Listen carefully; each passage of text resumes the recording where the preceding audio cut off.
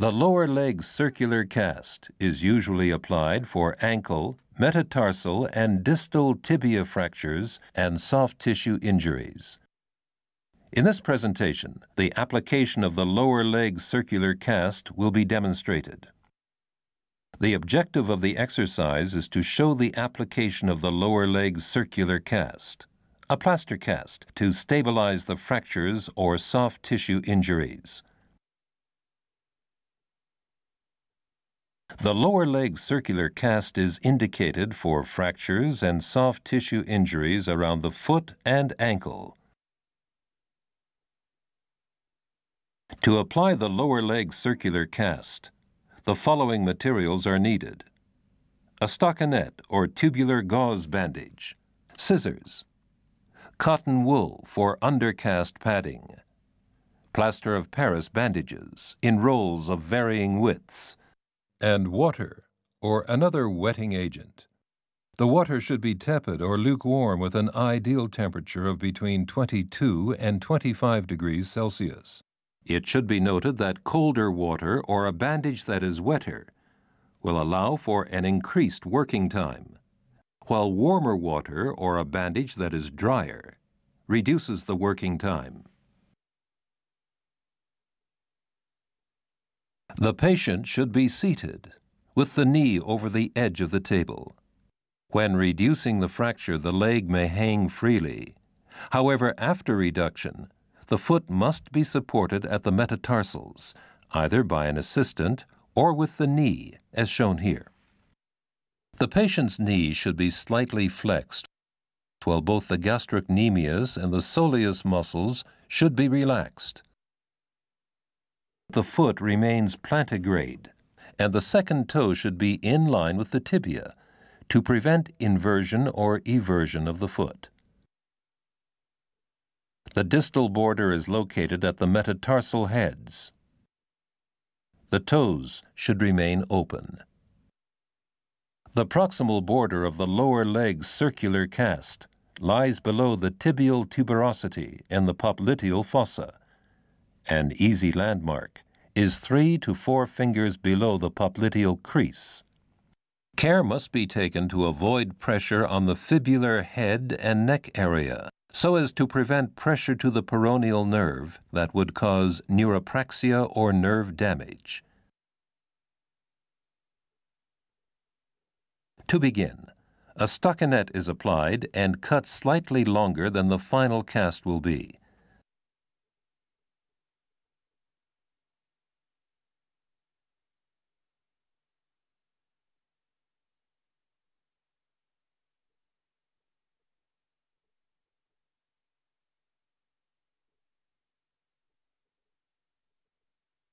Beginning at the distal border, the cotton wool is gently wound on.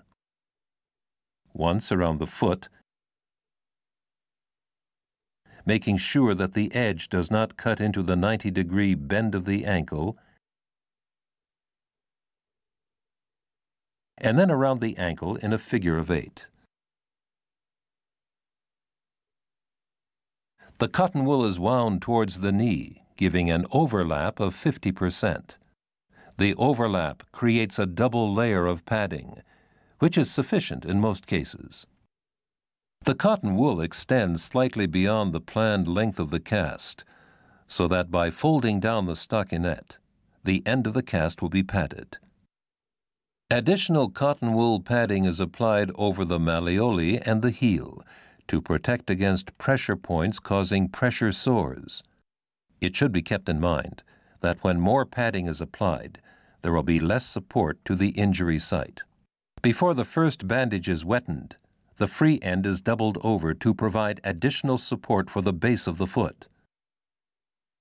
The plaster bandage is dipped into the water. The excess water is removed by gently squeezing the ends on both sides.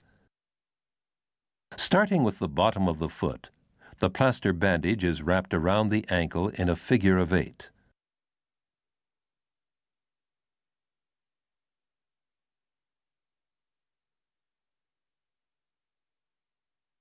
The bandage is passed once over the heel and then towards the knee with a 50% overlap, in the same manner as the cotton wool.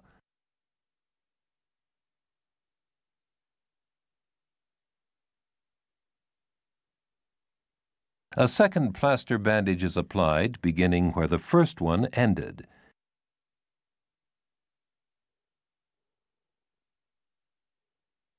It continues distally with a second figure of eight around the ankle.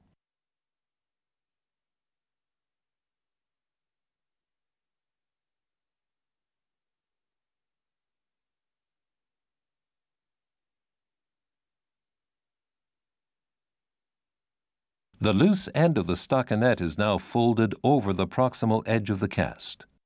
The extra plaster covering the toes should be noted. It ensures there will be adequate support for the metatarsal heads.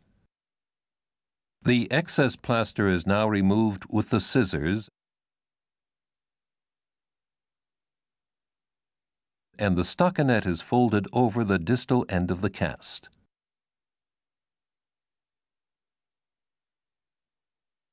A third plaster bandage is used in the same manner as the second one and secures the loose ends of the stockinette.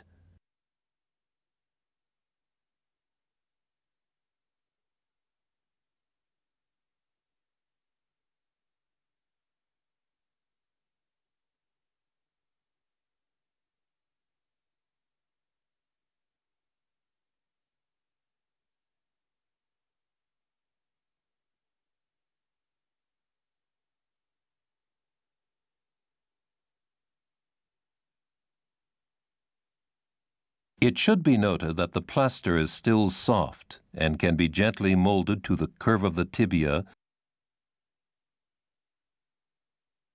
the Achilles tendon, and the malleoli. One or both hands may be used, as shown here. To ensure that the foot remains plantigrade, gentle pressure is applied to the metatarsals. The pressure should be continued until the plaster sets. However, the plaster will not achieve full strength for 36 hours. The lower leg circular cast is not intended to be a weight-bearing cast, so the patient will need to use crutches. The foot should be kept elevated when possible to prevent additional swelling. The exercises for the patient may now be explained and demonstrated. They include quads exercises and flexing the toes. The application of the lower leg circular cast is now complete.